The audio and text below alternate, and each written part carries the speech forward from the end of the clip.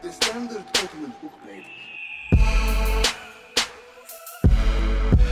has two parts.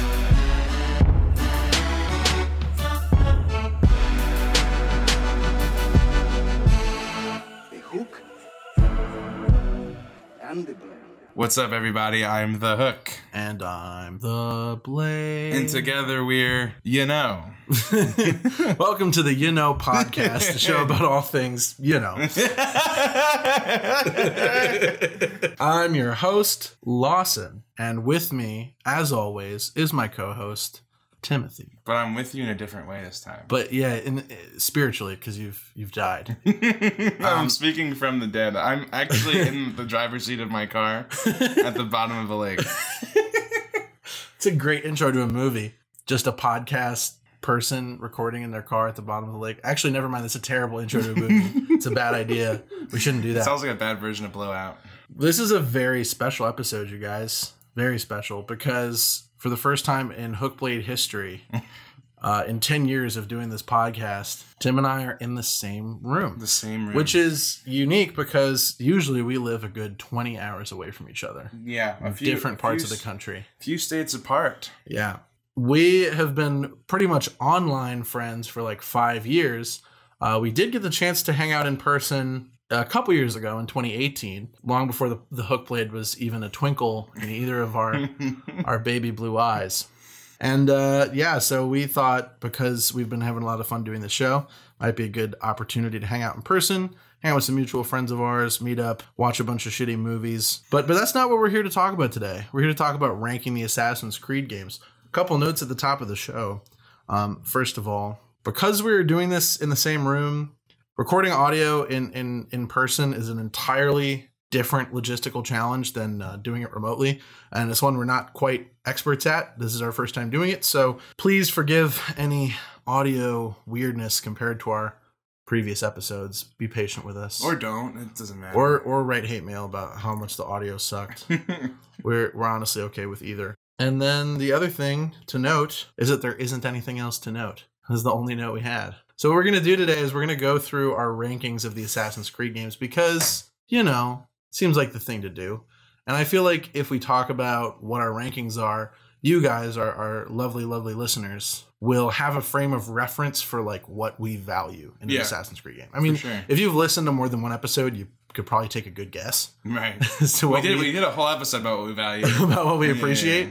But at the same time, you know, contextualizing it in a ranking, I feel like seems like a different thing. For sure, and it's it's it's nice. You could put it in a you could put it in a bulleted list. yeah. Or like use asterisks or something. You could do that, little. Uh, or or like or uh, there's a lot of drop down options in Microsoft Word for how you can organize a list. use hyphens. the way we're going to do this is we're going to just sort of take it one at a time from the bottom to the top. Yes. Uh, and we'll just sort of each sort of discuss what what is at each position on our list. Why don't we let's just jump into it. What do you think? Yeah. Let's just jump into worst it. to best, right? Yeah, worst to best. Coming in hot at number 11. Anyone who knows me would know what I'm going to say here. Assassin's Creed 3. I hate it, I hate it, I hate it. Yeah. It's bad, it's bad, it's bad. I don't like it. I don't like it. I don't like it. It is not good. Yeah, it's definitely not like worse in the series. To me. Yeah. Well, actually, I'm kind of wrong when I say that. Kind of technically wrong. Yeah, because my my eleventh is Odyssey because I haven't played it, but Yeah. I put it at the bottom just because I feel like spiritually I like Origins more. but Odyssey is at the bottom for me. yeah, I'm famously, you haven't played Origins or Odyssey. That's what you're kind of known for. yeah, Is you've that's what I'm famous for. you've resisted the appeal of playing these fucking games. and Rogue. oh yeah, But that was between the console generation switch, and I didn't have my 360 anymore. right. And I wasn't about to go buy a 360 just to play Rogue. So Dude, why not? I missed. I missed out on it. I missed out on it. uh, Rogue is uh, yeah. Are all of the games you haven't played the bottom three of your list? Yes, Okay, and then above those bottom three is it? it's AC3.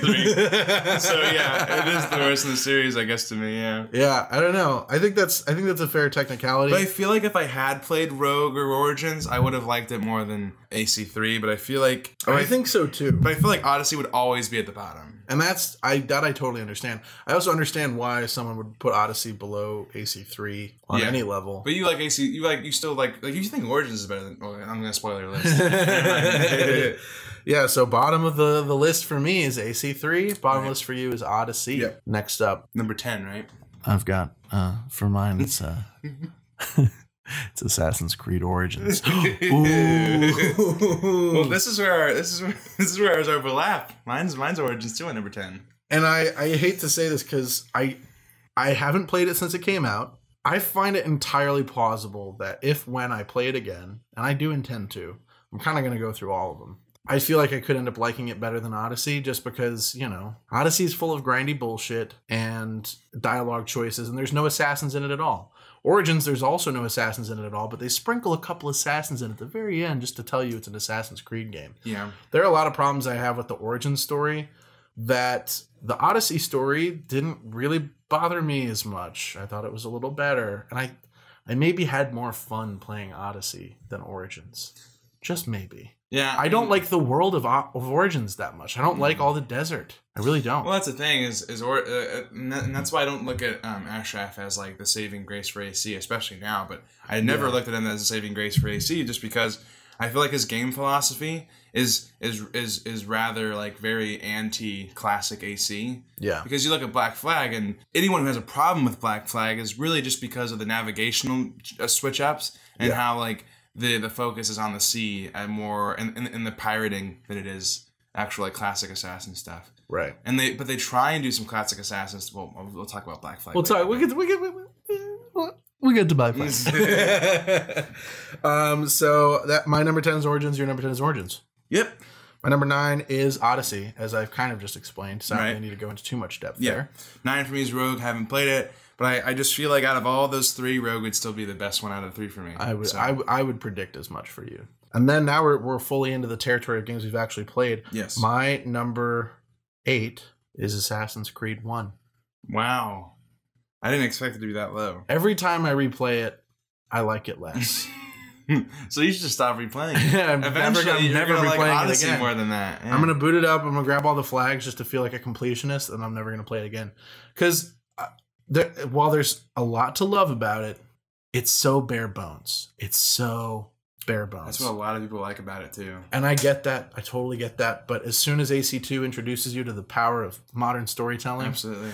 But, just but also when it introduces you to like economy and things to do with said economy. characters with and outer lives. All the things we've already talked about. We did a whole episode on Assassin's Creed One. Yeah. Don't need to fully relitigate it, but it was it was higher on this list before I just replayed Assassin's Creed. Which is 1. fair. I mean, you, you, you this is a modern ranking for you. And I've really debated how it compares with what's next up on the list. right. But what's what's what's at your spot? My here? number eight is AC three. right. Um, out of all the ones I've played, it's the worst. So, Yeah. Mm-hmm. I there are parts of there are definitely things about it I like. Um, you and I are going on a big replay of the series right now. Yeah. So I am interested in getting back into it Mm-hmm. because there are things about it that I'm like, oh, I remember that. That might be kind of cool to re-experience because it, it's not all bad. I don't think It's, it's, all just eighty percent bad. bad. yeah. But like there, there's like morally gray Templars and stuff, except for probably Lee. You know, he's Yeah. not very morally gray. But like in Haytham, Haytham's great. Haytham's great. So And honestly, I played a little bit of AC3 before we started doing the show, Yeah. and I'm really not looking forward to jumping back into it. It's like the it's the game I'm least looking forward to yeah. replaying. At on the moment, I was just finishing Revelations before I head up, before I came up to see you. yeah, So once I get back, I'm gonna plop down and finish Revelations up, and then get back into three. yeah, And yeah, so exactly, yeah. Spoilers for the next few episodes of the podcast. yeah, We did say last week we are going to talk about Brotherhood this week. We weren't really able to make that happen. Uh, sorry to our, our guest, JSIRS Habs 018, um, because we are actually really stupid as far as recording infrastructure goes. And as far as figuring out a way to make it so that we can both hear him on a call, not hear each other, and both be using our own microphones and our own computers, uh, seemed like a really big pain in the butt. I'm sure there's a way to do it. yeah. I mean, the learning obvious solution would have been to just be in separate rooms. But then But, we're, what's the but then, point? but then we're not in makeout distance. then we're not in makeout distance, and then what was the point of all this? Why'd you even bother coming up? Yeah, precisely. Yeah, because you can just assume, as you're listening to the podcast, at any moment that you can't hear either one of our voices, it's because we're we're making out, Exactly. and that's that's world building. that's world building. All right, so yeah, I've got AC1, you've got AC3. Next up, I put Assassin's Creed Unity. And definitely deliberating between Unity and 1 was a really hard thing for me. So after AC3, you got Unity. No, AC1, I've got Unity. Oh, that's right, right, that's right, right. Okay, so for me, after AC3, I have Unity. All right, So we're matched up. We're similar. We're matched up there, just after different games. Yeah, and the thing for me with Unity is that there's a lot to love. Same kind of situation as AC3 where uh, their ambition got the better of them on that game, and introducing a new engine to the series didn't exactly pay off in terms of polish. But for me, like Unity is a game, the game I'm most likely to boot up out of the whole series when I just want to free roam. I love Paris. I love the parkour system. And even though I have a lot of really big problems with the story, I feel like, and this is something we'll get into if we ever talk about it on the show, Unity is kind of a, a bad story that's well told. Yeah, it's it, especially when you get into the swing of things with the Notre Dame assassination. Assassination. I feel like things um, are are very uh, they are they have they give you the illusion of a, of a well paced story. Yeah. After that, yeah, Yeah. It's it's, also- frustrating. it's also a great moment in the story, isn't it? Is the Notre Dame situation? Yeah. it's frustrating that AC Unity isn't more polished and doesn't have a better story.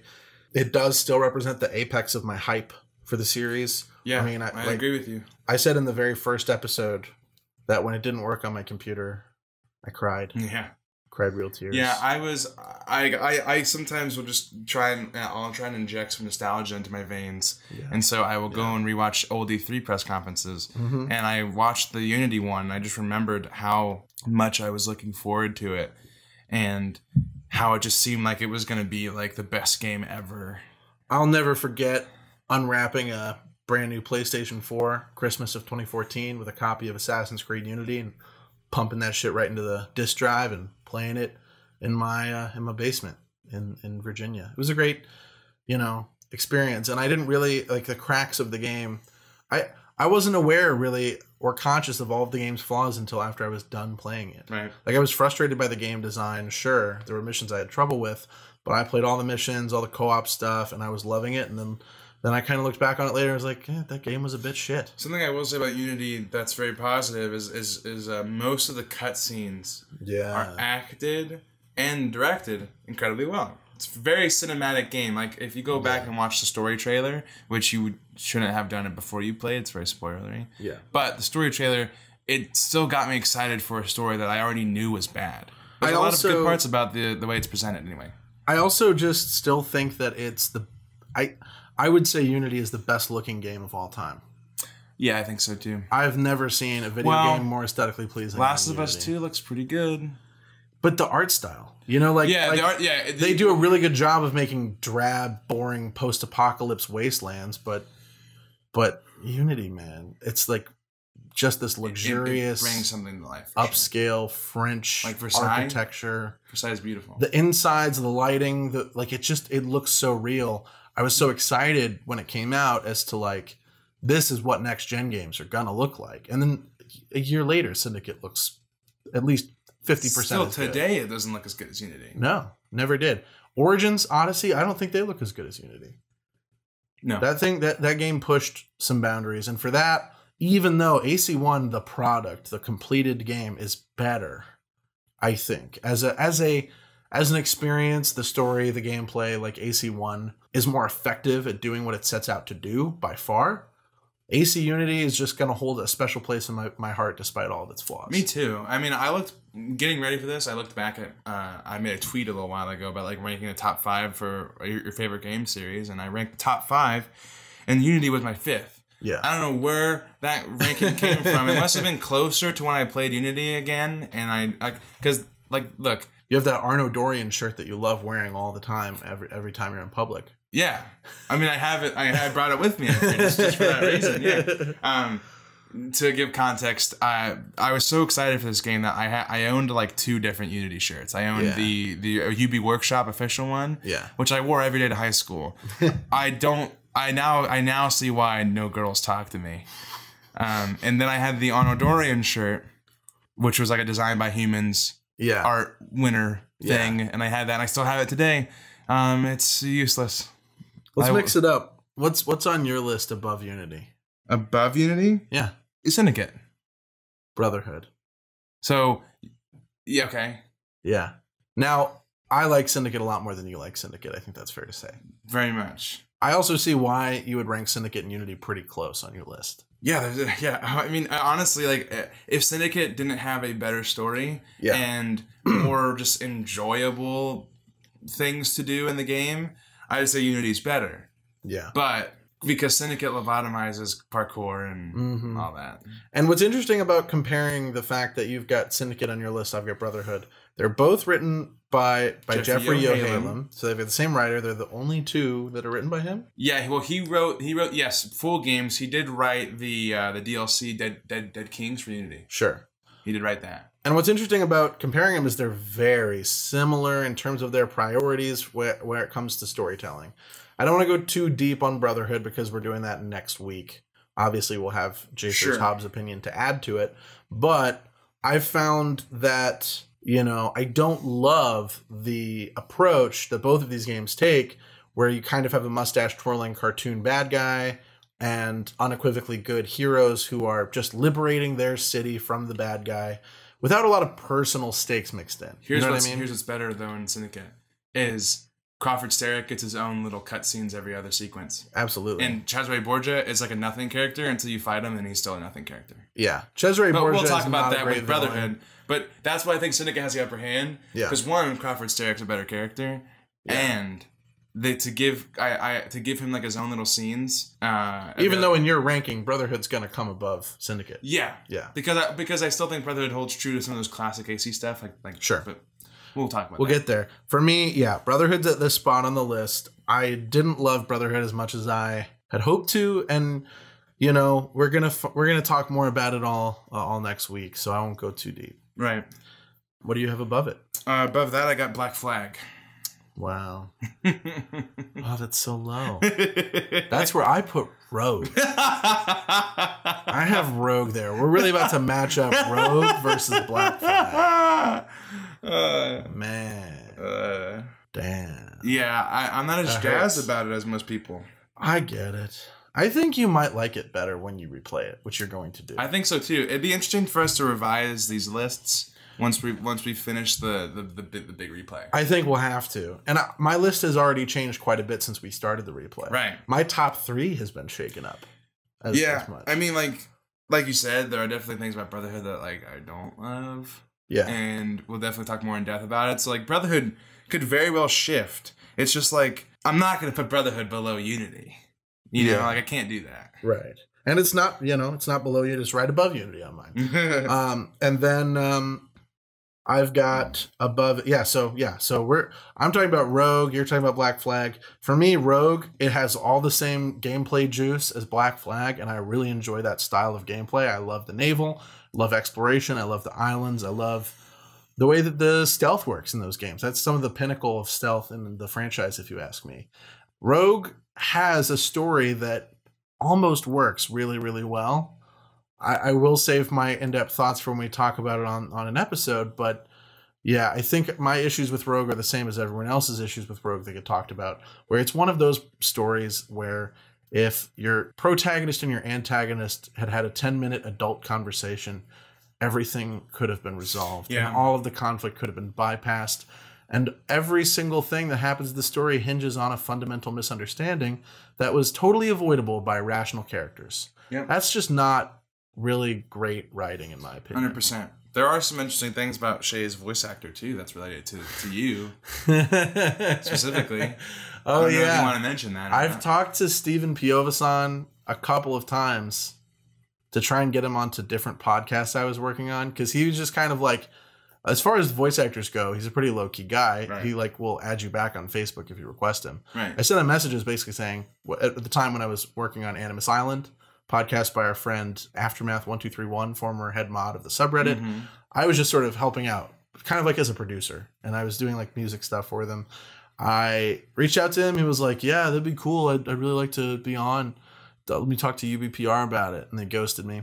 Then later, I was hosting my own podcast called The Bureau, um, and I asked him again. I was like, "Hey, I'm, I'm working on a different podcast now. Remember that last part? Forget that podcast. doesn't exist anymore." Why don't you come be on my podcast?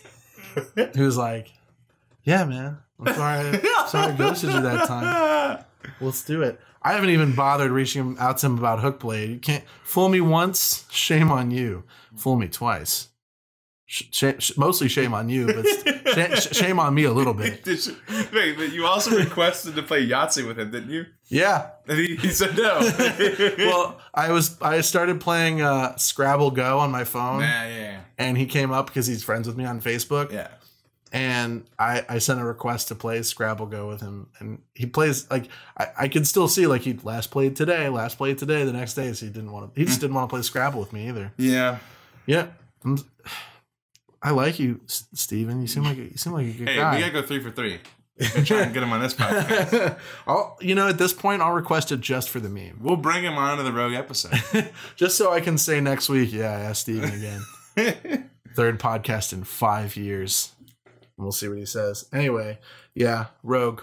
It's my number. well, you It's my number five on the list. something that's interesting that I haven't encountered about it, which I thought was interesting that Austin was saying, is that Rogue has better navigation mechanics. I felt like they, the stuff that they improved with naval combat and navigation made it a little bit more engaging. I felt like they got more out of their environments. Black Flag, you have these big open ocean. Rogue gives you two areas, two maps that are separate. You have like the river valley and like sort of an Arctic area. Right. It's not Arctic. It's like I- I don't remember. I don't remember what they what they were. It was snowy. They was snowy, snowy map, snowy map and Rogue, whatever it's called. It was fun because the ice introduced a couple mechanics and the locales were really interesting. The river valley was really tight, sort of narrow corridors between mountains, so you had to kind of manage your speed and stuff like that a little bit Yeah, more than you had sure. to in. Black Flag. That sounds fun. it's a good game. Number four for me after Black Flag is going to be AC1. Yeah, Um, Okay. On my replay, I definitely had some trouble with it. There are things I don't like about it. yeah, Um, there are things I really don't like about it that upset me. However, the way the way it handles the modern day, the way it handles the confessional scenes, its vibe, its presentation, its atmosphere, uh, some of the way the cities look, uh, j- just I, I I can't put it too low on my list Yeah. for those reasons because I think a lot of those things is what made the early games special, especially on this replay. I've been noticing how like just what would have happened if Patrice didn't get booted, you know? Yeah. Like, I've, I've really been fantasized about what that would have looked like. definitely. Who knows if it would have been better than what we, we have now? Right. Who knows? Yeah. But if Patrice gave us the one and then also the best series, best game of series for uh, the, the, the majority of the opinion, I'm just curious what his AC3 would have looked like. Definitely. Anyway. Definitely. That's legit. I, you know, it's funny. Yeah, you like AC1 a lot more than I do. That's totally legit. But I, I like it. I think I dislike it for the same reasons you dislike it. Definitely. They're just we have different priorities. Sure, you know? yeah, because I think I think if a game came out with AC1's type of modern day, I mean, I'd be all over it. So definitely. Um, yeah, my my contender in this spot is Syndicate. Syndicate is currently at number four, and like I said, I have a lot of um, a lot of just personal enjoyment for for Syndicate. Just first of all, I have a twin sister that plays a role. Jacob Yeah. and Evie have their fun twin dynamic, and much like Jacob and Evie, my twin sister and I are pretty much the complete fucking opposites of each other in every way um, but we get along and you know really well. Yeah. We're, we're best friends, really. you go sister. and you go and uh, you know destroy a bank, and she cleans it yeah. I I ruined the banking system of an entire country, and then she kills people and brings it back together. yeah, it's our it's it's our dynamic. It's our it's relationship. very healthy dynamic. I love the the targets in Syndicate. I love the way that you know there's so many memorable ones. Honestly, for me, more than in any other Assassin's Creed game. Uh, even AC One, even some of the Ezio games. you know, I gotta say the thing about Syndicate that strikes me the most is it has like the best, some of the best, probably, if not the best, incorporation of lore. Yep. They use a lot of it and they take advantage of it. And we also, as we've said multiple times on the podcast, have a huge soft spot for Syndicate's modern day. It's a great yes, modern day. hundred percent. But also, yeah, I mean, in terms of like, I feel like Yohalem is one of those dudes that just like respects the lore, Definitely. and so he doesn't go out of his way to like make any bullshit. You know, like like, and Yeah. the thing too is Project Legacy, as I'm admittedly a big fan of, yeah. they utilize a lot of the stuff that the Project Legacy built up about the Shroud, Yeah. and, and, and even expanded on it in, in the database sequences. So even though I recognized a lot of the stories that it was telling, Yeah. they uh, fleshed them out a little bit more, Totally. which is totally awesome. And we, we love Syndicate. Syndicate's my number four, but it was until this week my number three. right. Yeah. Now it's changed. What's your number? My number three is Brotherhood. Wow. There are things about Brotherhood that I don't like, but I still think it it still has that like refined gameplay that AC1 lacks, Yeah. and it still sticks to that classic AC feel that like a game like Black Flag doesn't have for me. So Yeah. I I put my number three. My number three is Revelations. Revelations is pretty great. yeah, For me, Revelations addresses pretty much all of the problems that I have with Brotherhood, but my problems with Brotherhood are severe enough that it keeps it out of my, my higher part of the list. It's right it's pretty much smack dab in the middle of, of the list for me. But um because I don't I didn't love Brotherhood story. yeah, And sure. I had a lot of problems with the mission design, I had a lot of problems with the systems, all of which we're gonna explain more um next week Right. but revelations for me pretty much uh pretty much knocks my socks off and I, I i really never got to fully appreciate it until this playthrough um but the way the parkour the design of the city the stealth mechanics now that they kind of open up your bomb possibilities um and that darby mcdevitt writing man Yeah. it's just you can't beat it Can't beat it. he knows how to write good characters. He knows how to take the the most small, minor like interactions and make them interesting and make people genuinely interesting. You know, you go back to to Brotherhood. You've got these like or or, or AC two. You've got these beat up missions. Somehow, every single beat up mission is a is a is a wife telling you to beat up Her cheating husband? cheating husband. yeah. You like you put Darby McDevitt in that room on that day, and he's gonna come up with six very different reasons someone's Yeah. asking you to beat someone up, Absolutely. and they'll all be interesting stories to themselves. I mean, this dude wrote a game called The Sims Busting Out for Game Boy Advance, and by most accounts, he did a really great job with that. And I don't know how you do a good job with that. So, look, Darby's a hero. He's a genius. Revelations is his his first showing of that in, in Would have been a Creed. mobile game. Would have been a 3DS game, yeah. Or yeah, a, hand, a handheld game. sorry. Yeah. Mm-hmm. And he was the right man for the job, and now he's he's showing us the light. He's showing us the way. He's single handedly marketing Assassin's Creed Valhalla to actual fans of the series Mhm. uh, on Twitter every single day. So we love him. I love Revelations. That's my number three game. Now to to the number two slot. Number two, ironically, is AC2. Number two for me, AC two. And there we go. I mean, some more overlap. Another another little direct overlap. Yeah, there is plenty about AC2 to love, especially coming off of AC1. Uh, even though uh, we both are kind of on record about not liking the ending, Yeah. I as we talked about last week. yeah, I think there's so much to enjoy about um, the world, how, how it's brought it's brought to life, the characters, you know, Ezio, his journey. Um, right, you know, I mean, this I I love the like conspirator stuff. You like go, like work your way up the ladder of the Yeah. conspiracy, and and you you're growing with Ezio as you do it, and Mhm. um, just most things are more enjoyable in AC2, even though the combat is worse in AC1. But that's besides the point. Ezio Ezio is a classic character. He's iconic. He's not a, a like the best character of all time, mind you, but he, he is one of the best assassins. Neither is. AC2's version of him the best version of Ezio. Agreed. I I find Revelations Ezio is the best. Absolutely. Uh, I the right love answer. the contrast between having him old and mature and, and wizened, uh, you know, kind of a little bit of boomer energy, but Oh, yeah. still being a kick-ass assassin and and all of that, and carrying with him the stories and the memories of the things that have happened in the previous Sure. games. Just great stuff. And AC2, yeah, it really is the progenitor for the franchise that we know and love, at least the parts of it that we love, um, in a lot of instances.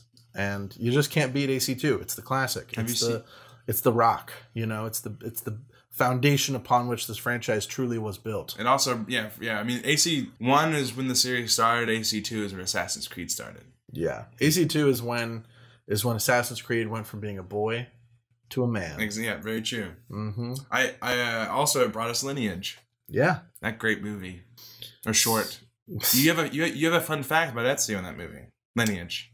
I do. Well, the fun fact about Ezio in Lineage is that he's played by Devin Bostick, who is best known for playing Roderick in the original Diary of a Wimpy Kid movies.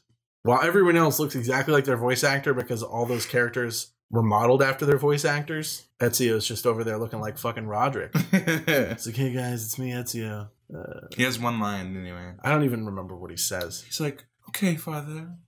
I have I have also a fun fact about AC2's advertising in regards to the actors, um, because every every once in a while I remind myself that the AC2 story trailer, I believe, Oh lord. they couldn't get Roger Craig Smith to voice Ezio, so they had the guy who plays his dad do it. So he narrates the trailer from Ezio's perspective in the voice of his dad.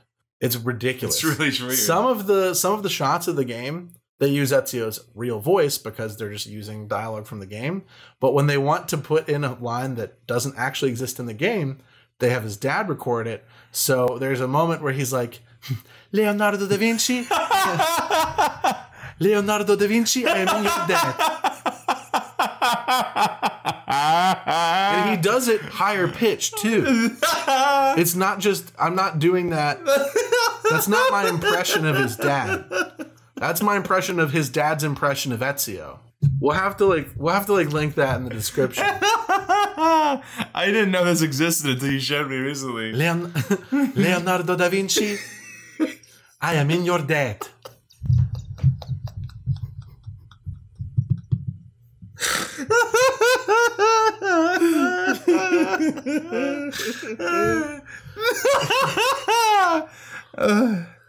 Yeah, it's good stuff. Now, drum roll, please, those of you at home. Number one games to no one's surprise because I'm sure we've mentioned them. And also, if you're uh, looking at the list, you can figure out figure what's the out what's the one game they haven't talked about. For me, it's Black Flag. Yeah. Black Flag is a beautiful, beautiful game. It has the best story in the series. Full stop. Edward is one of the best protagonists. The way they introduce and use the Assassin Templar conflict is ingenious. Even if it's not enough for for you on the level of, you know, the older games. Now that we have Origins and Odyssey, I feel like it's really hard to to shame Black Flag too much for how it uses assassins and templars because we've seen it can be so much less than that. Yeah, but if you're thinking about it of the of, it, of, Of its time, I understand. for sure. At the same time, it really tickles my pickle. I would love take I would so take much. most of Black Flag over what we have right now. Absolutely. Yeah. There are some, you know, missions that kind of suck. Uh, some things that are that are that are frustrating, but all in all, it it did the best out of any of the Assassin's Creed games for me about creating like a role playing ish fantasy that I could really like sink my teeth into, being this seafaring captain, enjoying the uh, the naval exploration, and also doing cool assassin shit on land. It's it's a game that I never expected that Assassin's Creed would give us, and I I, I hope that you know we get something as good as it again because it's my my favorite. More of that classic, incredible, detailed Darby writing where he just makes all those characters so real and memorable and believable, and uh, you just can't beat it. Pour me a hot cup of AC4 any day of the week. That's what I'm. So I'm drinking with my breakfast. some Assassin's Creed 4. That's what I want. I'm, I'm interested to see if my opinion of AC4 changes soon. Um, I think it might change, but I don't think it'll change very much on my list just because it's it's it's close to things that don't have a lot of wiggle room at the moment. Sure. But uh, my number one, which is obvious, I guess, is AC Revelations. Yeah. It's uh, I can't ever say it's the best in the series because I know that there are things about it that are probably not as good as like just a like because you got to think about it. I mean, AC Two is regarded one of the best games of all time. Yeah. So like no one's no one's putting Revelations in that running. So while I can say objectively it's probably not the best AC, it's my favorite by far, and it has the most attractive qualities to it for me. And so I'm definitely looking for more of a, of a Revelations esque game. And like I just think from everything from like the UI changes to uh, uh, an older, more mature Ezio, the hook blade. Revelations has, has as of right now, my opinion is that Revelations has the best parkour in the It's got the sauce. Yeah, Revelations has the sauce. yeah, It's really good. I I totally get your love for Revelations, and and I, and I love it too. And I'm really excited to talk about it in more depth Absolutely. on the podcast because we I've got a lot to say about it. I know you've got a lot to say about it. for sure. But I really enjoyed replaying it because just like with Brotherhood, the first time and only time I played these games until these replays was uh, in a mad sprinting dash over one or two days to get to AC3. yeah. Imagine that's the most disappointing. Imagine that. Yeah, It's the most disappointing uh, binge of all time. So just be really desperate to play Assassin's Creed 3, only Yeah. to find out that Assassin's Creed 3 is Assassin's Creed 3. And while you're getting to Assassin's Creed, you're jumping through over like some of the best, better Some of games the in best the series. I- yeah, and and also just you know ignoring a lot of content that you don't really sink your teeth into when you're just trying to finish as quickly as possible. Absolutely. Like So- in Brotherhood, you can completely miss the, the Leonardo machines. and, and that's exactly what I did. In Revelations, I missed all of the Desmond first player uh, parkour. Yeah. It was so That's not a first person. It was so it was so engaging to do those little first person puzzles. I loved it so much. I have yet to do. I, I did one of them. So just to to kind of repeat it, go over it. You know, my ranking from top to bottom is AC4, AC2, AC Syndicate, Revelations, Rogue, Brotherhood, Unity, AC1, Odyssey, Origins, AC3. So for me, from best to worst, got AC Revelations, AC2, AC Brotherhood, 1, Black Flag, Syndicate, Unity, 3, and then the ones I haven't played, Rogue, Origins, and Odyssey. And I only I put them that way because at least Origins doesn't like go so far back in time that they forget what assassins are. Kind of does though. Well, like, but they're still the hidden ones. Like, And I would I'll respect that, if that. They, if it was just a game about creating the hidden ones. But Right. again, like as I say in my video, you know, you can't tell me this is a game about the formation of a brotherhood only to form the brotherhood in the post credits. Absolutely, no, I agree with you. I agree with you. This game sure. is not about. But at the least origins. Bayek like looks like an assassin, He is wearing a hood. and he acts like an assassin. He has a hidden blade. Yeah, that's true. Those are something. I It's guess I guess it's cool that there's a hidden blade in it. Hmm. I guess I like that there's a hidden blade. something. Been the honorary twelfth ranking for yeah, both of us. the worst uh, game in the whole series, uh, the Assassin's Creed the movie. We're thinking about doing like a little a little commentary track. I think that could be fun. I think that could be fun. I think we'll just record ourselves watching the movie and reacting to it, Yeah. and then you guys can stream it into your earballs while the movie's playing, and we'll make a little I mean, highlight reel. The negative parts about that is we would be making them. you would the then have to watch the movie another time, and you know, sorry, but I have a lot of thoughts about that movie. Yeah, We're gonna have to talk about yeah. that soon, and we might talk about it next, right now. We might talk about it now. so, you know, while we have very similar priorities and often agree quite a bit in these episodes we talk about games, our lists are pretty different on they the are. whole. They are different. Yeah. Pretty different. Because I think you can ignore certain things more than I can.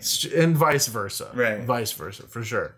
I mean, we, we, we each have different priorities that we look For for, sure. Assassin's And Like- that's what makes us such great podcast hosts together.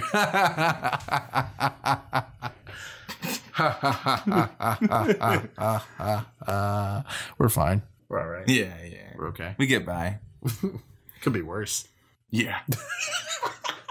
we could be uh we could be sitting here. Oh, Could you imagine that combo? Oof. You can cut this out, but Yeah, could you I imagine that combo? I've seen it. I don't have to imagine it. I don't have to imagine what is that anything, like? brother. What is that like? Um, have you ever seen like a, have you ever seen like a three year old writing his name in shit on the walls of a bathroom stall? If I keep this in and I bleep out their names, I'll just tell you we're not talking about anyone in the Assassin's Creed community. We're just talking about people that I know in real Yeah, life. people in your personal people life. in my personal life that we don't like. Dude, now they're gonna be You so know who you are. They're gonna be so curious who it is. That's hilarious. Anyway, we've really enjoyed doing this episode, our first episode in Makeout Distance. We're definitely excited to get that Brotherhood episode up with Jacers Hobbs. Jacer Subs, thank you for being patient with us while we yeah. while we are stupid about technology. We're looking we're looking very much forward to that to get our episodes on our replay going and Yeah. keep keep that keep that streak going. So Yeah, tell us what you want to see uh, in the comments, what you want to hear us talk about. Send us a hate mail. Actually, you know what you guys should do is tell us your rankings. Drop your rankings in the comments. Yeah. Um, and tell us how you feel about ours. If you think we're complete dumbasses who don't know anything about Assassin's Creed, or if our ranking is exactly the same as yours because we're both you're smart and so are we. You know I'm, what I mean? I'm curious to see overlap Yeah. between our lists and theirs. yeah. All right, I've been the hook. Bye. we should probably record an outro, shouldn't we? yeah. We didn't really do that. Um, as always, there are some ways that you can support us if you want to. Um, we love when people send us hate mail. We love when uh, you guys like our videos or dislike our videos or subscribe to our YouTube channel or hit the bell icon to be notified when we upload new content. We also love when you visit our Twitter and you reply to our tweets. You heart them, you retweet them, uh, It makes us feel all warm and fuzzy. print them on T-shirts. We just love that shit. Do that. We really do. Yeah. We have simple needs. We're only asking you to do like twelve things right now. Yeah, exactly. It's not. It's not undoable. Make a Twitter. Follow us on Twitter. Yeah, Wolf. Yeah, Make a on. Twitter so we can get one extra like. Get out of the Stone tweet. Age, lady. Anyway, yeah. So just interact with us, and we will appreciate that. We might even Or shout you out. Or don't. You I might guess. notice most of our listeners that that listen to us a lot and they comment. We we talk about we we give them shout outs. We respond to them. So if you like hearing your own username yeah, come out of people's voices, if you like hearing us say Jacers Hobbs 018 I've been the hook. and I've been the blade. Yeah, that's how it's been. and we've been The hook. the Hook Blade podcast. Hook blade podcast. called. Yeah, Yeah, that's it, right? hook blade. Hook Blade podcast, Blade. something like that. I uh, sure hope so. I got that. that- That's what I got tattooed on me. Peace out, guys.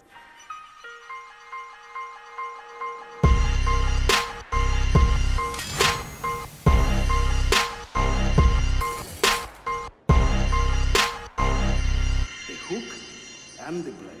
So you can use one or the other.